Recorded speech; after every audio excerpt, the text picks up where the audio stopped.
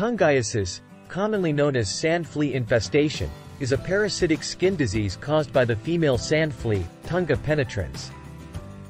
These tiny, burrowing insects thrive in sandy environments, predominantly affecting individuals in tropical and subtropical regions.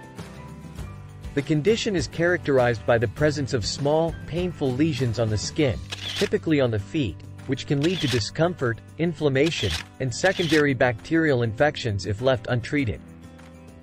To effectively get rid of tungiasis, a multifaceted approach is essential. The primary objective is to remove the embedded sand fleas and manage associated symptoms. One of the initial steps in addressing tungiasis is proper hygiene. Infected individuals should thoroughly wash the affected areas with soap and water, ensuring cleanliness to prevent bacterial infections. Additionally, the use of antiseptic solutions can aid in reducing the risk of secondary infections. Manual extraction of the embedded sand fleas is a crucial step in the treatment process. This can be done with sterile instruments like needles or tweezers. Care must be taken to avoid breaking the flea during extraction, as this may lead to increased inflammation or infection.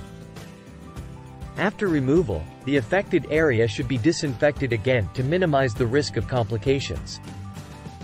Topical treatments, such as antibiotic ointments and anti-inflammatory creams, can be applied to the lesions to alleviate discomfort and promote healing. Over-the-counter medications containing ingredients like hydrocortisone can help reduce itching and inflammation associated with tungiasis.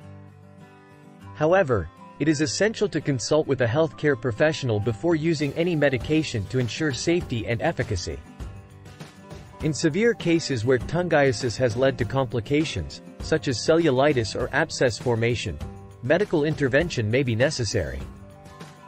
Healthcare providers may prescribe oral antibiotics or other appropriate medications to manage infections and prevent further complications.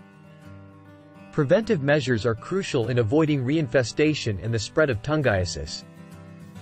Wearing closed shoes and protective clothing in sandy areas, using insect repellents, and applying anti-tungiasis powder or creams can help minimize the risk of infestation. Environmental hygiene, including regular cleaning of living spaces and the immediate surroundings, is also important in controlling the sand flea population.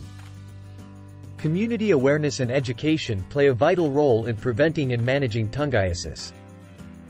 Promoting good hygiene practices, emphasizing the importance of protective measures, and encouraging prompt medical attention for those affected can contribute to the overall control of the disease.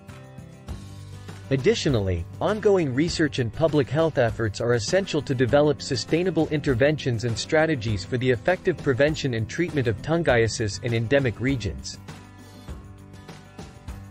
Please remember to subscribe to our channel, click the like button, and activate the notification bell if you wish to see more content like this. Thanks for watching.